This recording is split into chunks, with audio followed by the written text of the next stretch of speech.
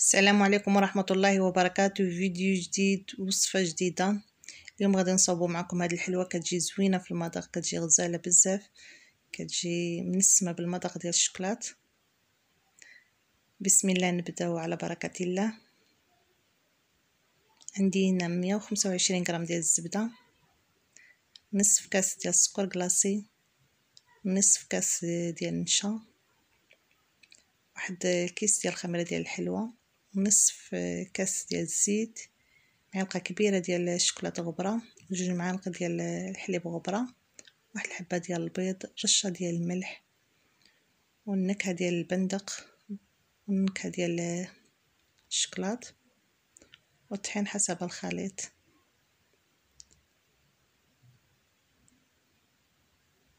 غادي نديرو واحد رشه ديال الملح مع الزبدة وغادي نزيدو عليها السكر كلاصي وغادي نخلطو هادشي مزيان.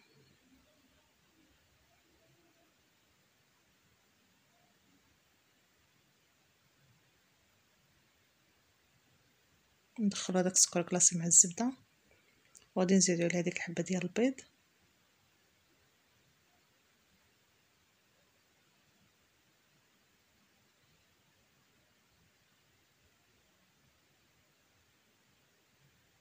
نزيدو هادوك جوج معالق ديال الحليب غبرة. كتعطيها واحد البنة زوينة في الحلوة.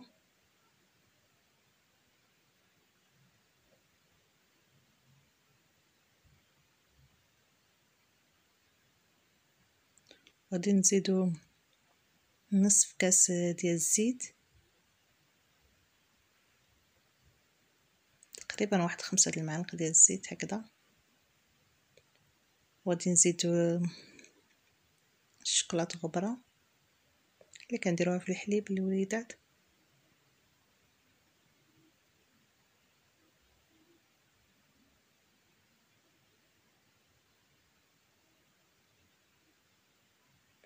وغادي نزيدو داك نصف كاس ديال النشا.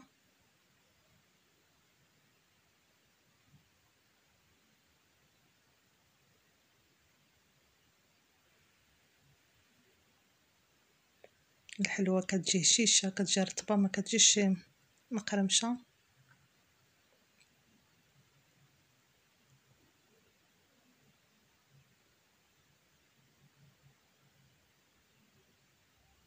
اللي بغى الحلوة ديالو تجي مقرمشة ما يديرش النشا.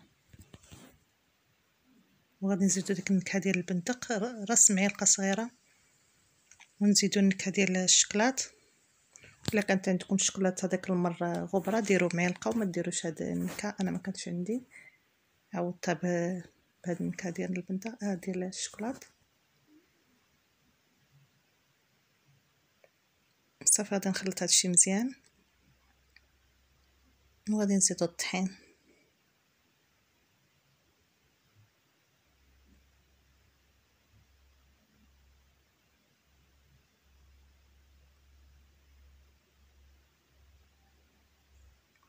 كنزيدو الطحين وحنا نخلطو في العجينة ديالنا. غادي نزيد هذاك الكيس ديال الخميرة ديال الحلوة.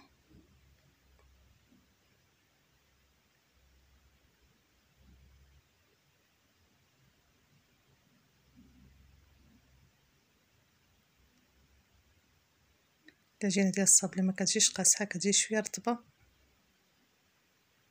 ما فيها. كنجمعوها وصافي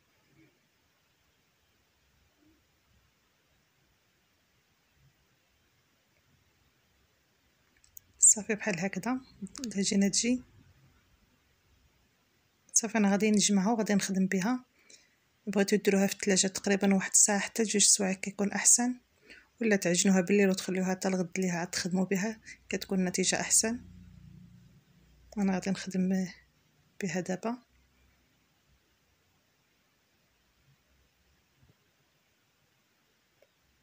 العجينه كتجي شوية رطبه صافي غادي نقطع واحد الكرة وغادي نديرها بين جوج كاع ديال البلاستيك. وغادي نسرحها بالدلاك.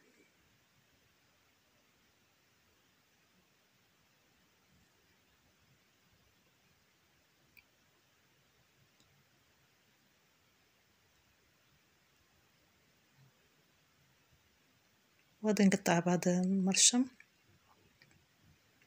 اللي كيكون متقوف في الوسط.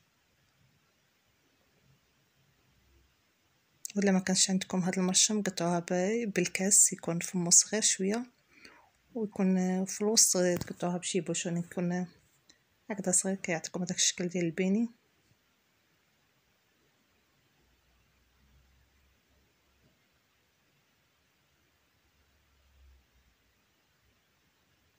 ولا كان عندكم هذاك المرشم اللي كيكون يسامبل ما كيكونش مع الجناب داير بحال هكذا كيكون أحسن. ما كانش عندي المرشم درتي من هذا المرشم. صافي كنبقى على الطريقة تنكمل كامل العجينة ديالي. كنستفها في اللاطه كندخلها للفران. كيكون الفران ناقص عليها كطيب على خاطرها.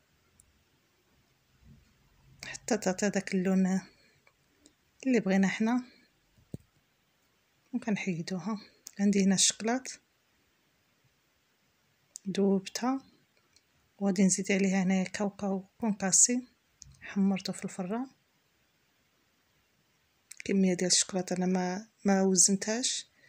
درت عيني ميزاني حتى الكاوكاو درت عيني ميزاني. قدت لي هذيك هي ما قدتش غادي نزيد.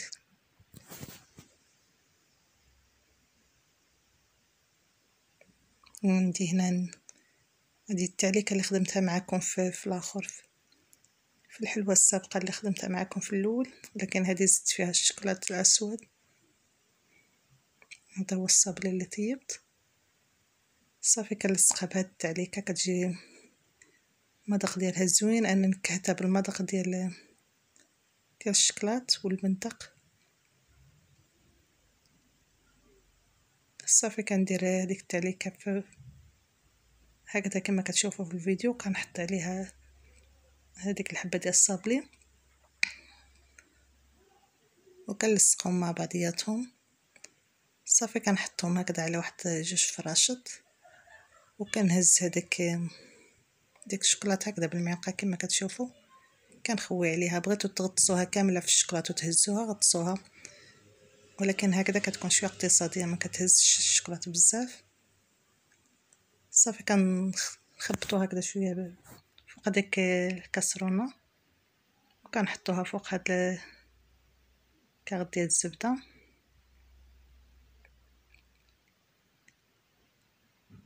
صافي غادي نبقى على هاد الطريقة. كنلصقهم.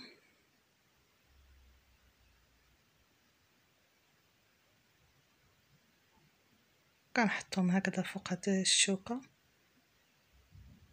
كنخوي عليهم هذاك الشكلاط كنبقى على الطريقة تنكمل كامل هذيك الحلوة اللي عندي.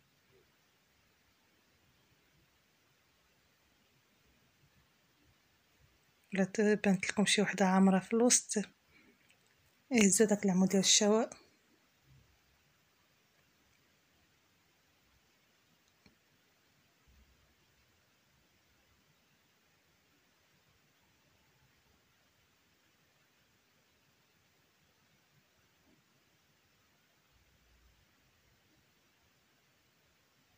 بغيتو ترموها كاملة في في الشكلاط وتهزوها بهاد العمود تاع الشوا. ديروها غطسوها كاملة في الشكلاط ولكن غادي تهز لكم الشكلاط بزاف. أنا درت لها هاي من الفوق.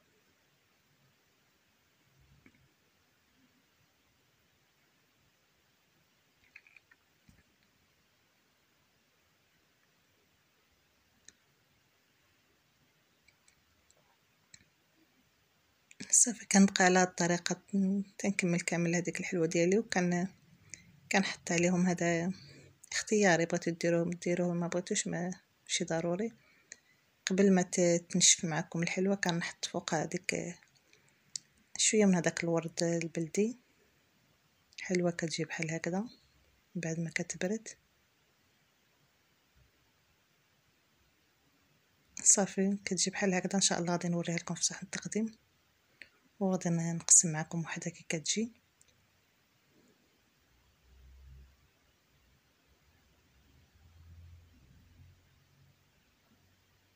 غادي نقطع معكم وحده كتجي هشيشه الحلوة. كتجي بنينة بزاف. كيجي في هذاك المذاق ديال البندق ومع الحليب ديال الغبرة والشوكولات. كتعطي واحد مذاق زوين بزاف. نتمنى تجربوها في هذا العيد. وهيا نخليكم أخواتي في فيديو آخر. إن شاء الله هي بسلامة عليكم.